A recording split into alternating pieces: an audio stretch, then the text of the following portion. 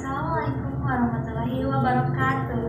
Perkenalkan, nama saya Siti Fitriani Mariam, salah satu pengajar di Pesantren Ahilatul Cipadung Wetan.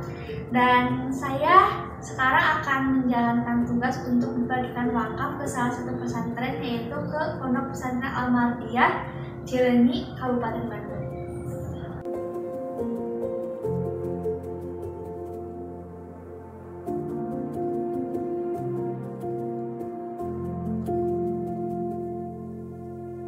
Bye.